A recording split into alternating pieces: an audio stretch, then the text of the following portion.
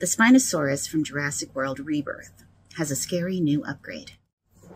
This Spinosaurus swims.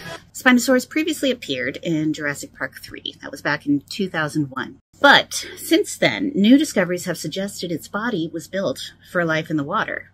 Here's what we knew. This dinosaur was huge. The largest predatory dinosaur ever found at 15 meters long, nearly 50 feet. That's bigger than a T-Rex. And it had a crocodile-shaped snout, that giant sail on its back, and a weird sort of paddle shaped tail. Scientists haven't found a lot of fossils belonging to Spinosaurus, so every new discovery reshapes what we think this dinosaur looked like and how it lived.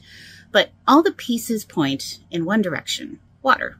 Its cone shaped teeth would have been great at grabbing slippery fish. Its bones were dense, helpful for controlling buoyancy.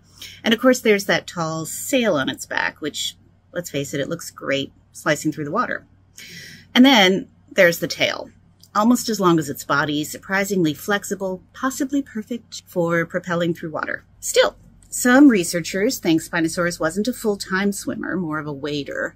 For example, the way it might have held its head angled downward, that hints at a wading or scanning behavior. But whether it swam or waded, Spinosaurus is pushing the limits of what we thought dinosaurs could do. Weirdest dino ever? Maybe but definitely one of the coolest.